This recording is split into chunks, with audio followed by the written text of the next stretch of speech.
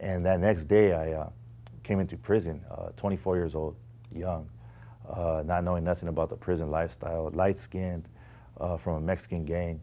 And uh, two weeks into to prison, it's called reception. So, two weeks into reception, uh, riot breaks out, and I get stabbed next to my artery by my groin.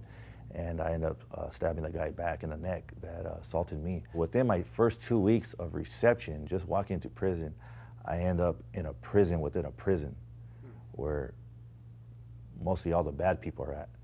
And this is really where my life really took a turn.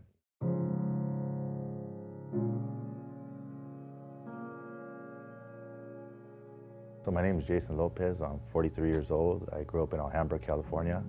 I'm the youngest of two brothers, and I have two older stepbrothers. Um, I'm married. Um, I have a daughter and this is my story.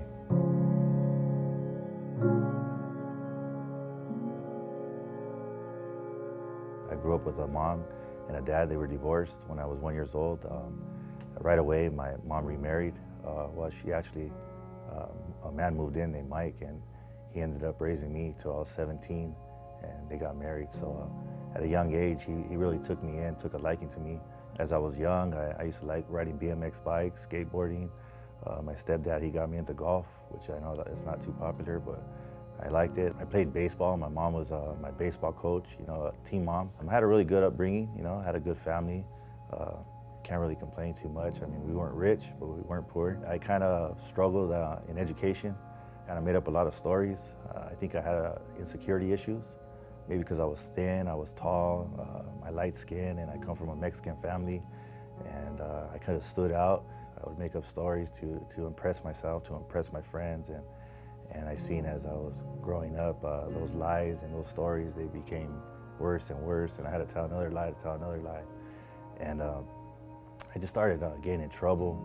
Uh, my teachers would always call my house. My mom, she used to work for San Gabriel High School. She used to be a special ed teacher, and special ed was for the troubled kids, uh, kids that were gang members and, and abused uh, teenagers, the girls that got pregnant real real young in life, so my mom was really hip to what was going on on the streets, you know.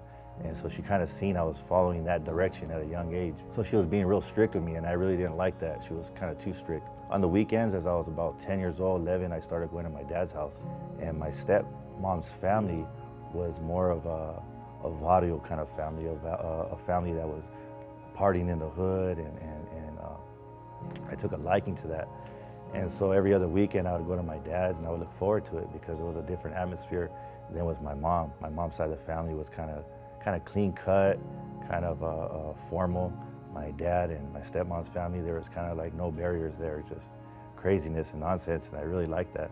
As I started hanging around with my step family and, and going to family functions, I seen that they were partying, they were playing the, the, the disco music and oldies music, and there was beer, and there was a little bit of weed, and and uh, the cocaine, I really didn't see it, but it started coming real, real quick.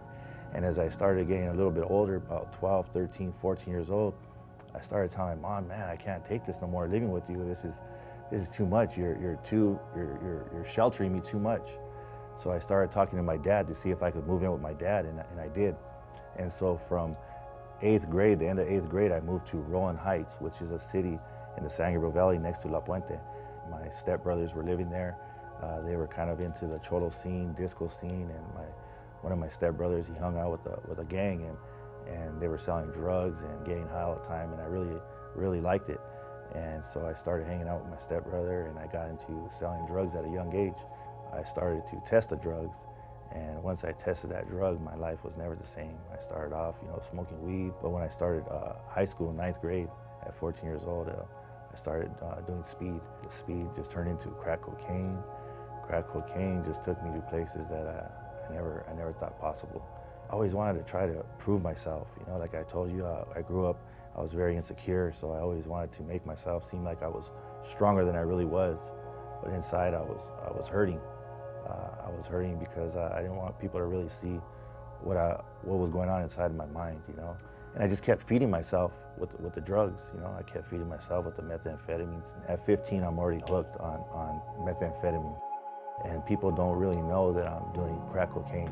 It was kind of it was kind of a, secret, and um, I I was trying to hide it real well, but my dad, he would, he would see it.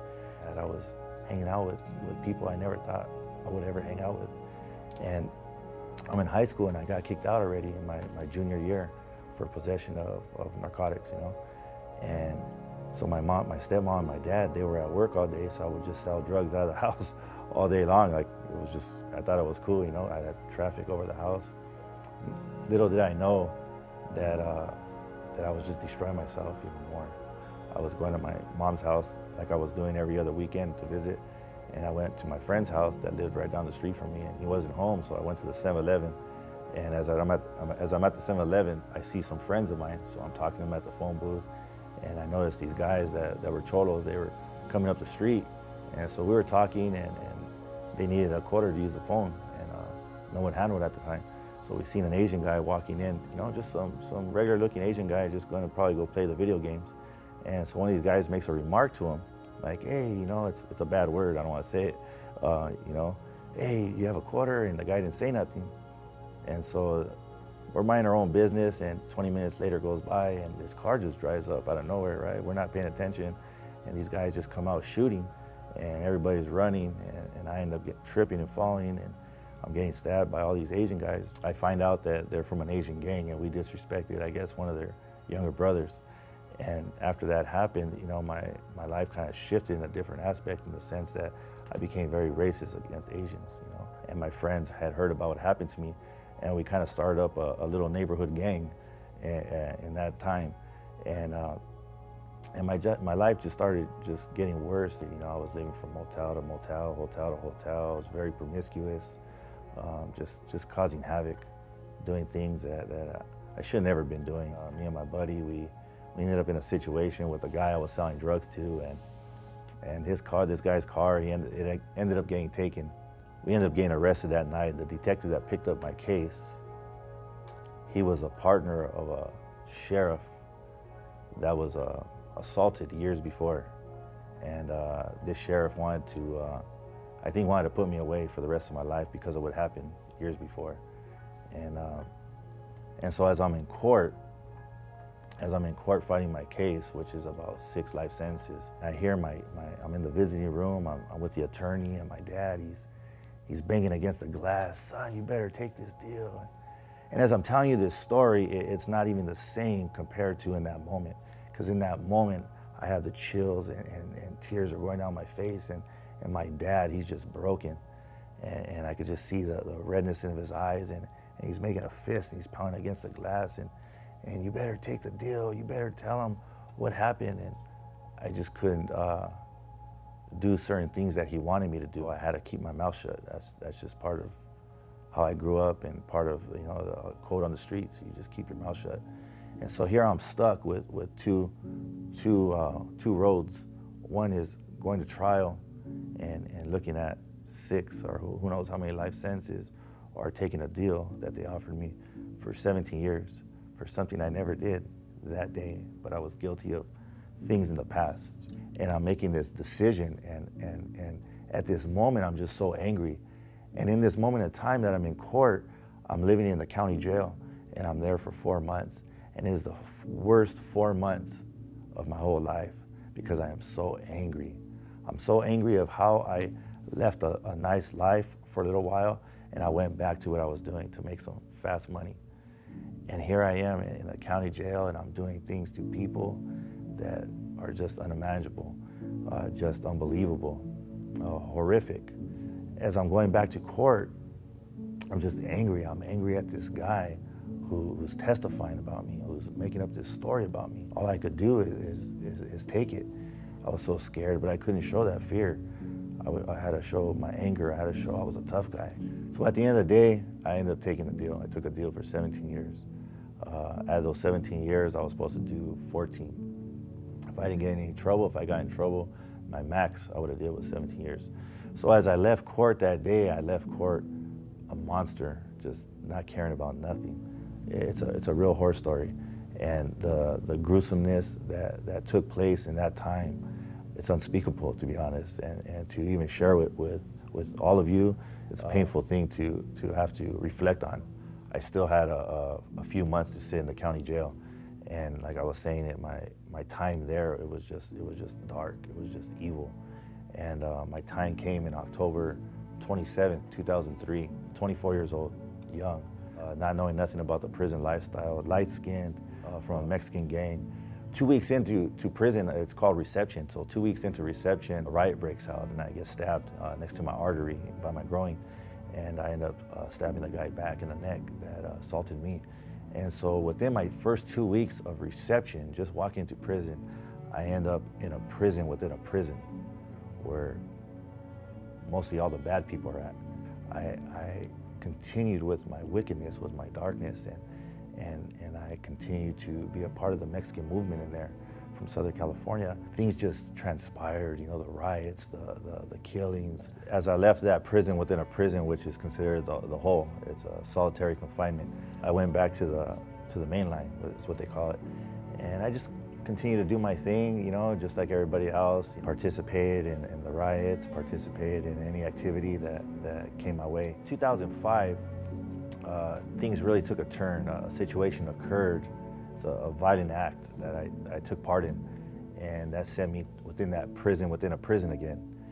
And as I went in that area, uh, which is called the Hole, as I stayed there, um, the first night I noticed this guy. He, he was talking on the vent, and he, he was he was kind of like praying. And, and then the second day, the, the same thing and as we're in there, we're introducing ourselves through these little lines you shoot under the door, and, and you communicate that way. About two weeks, this guy he took a liking to me uh, due to he's seen that I was getting visits, you know, and it didn't seem that I really belonged back there with those guys.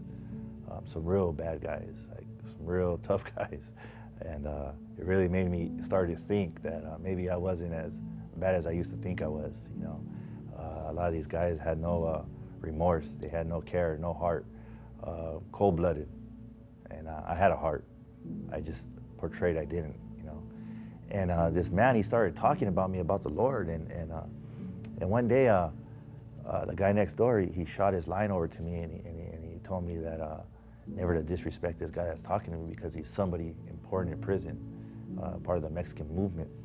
And so I said, wow, I was thinking to myself, how is it that this guy is about this kind of stuff, but he's telling me about the Lord, you know?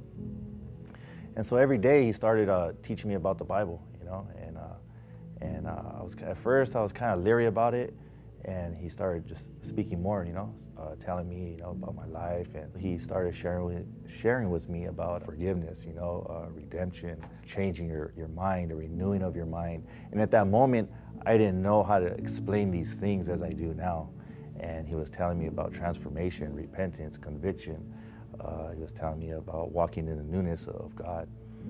And at that moment, I'm thinking like, man, what is going on? Why does this guy keep telling me about this? This is going on week after week, day after day.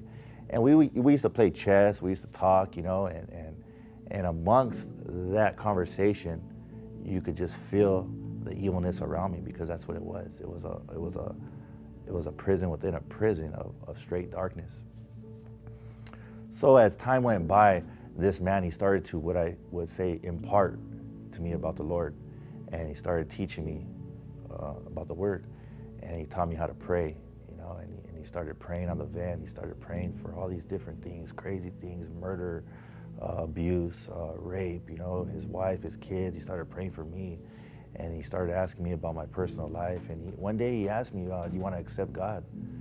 And I was like, wow, like, how could you how could you ask me that back here in the back, man? Like, people, what are people gonna think about me, you know?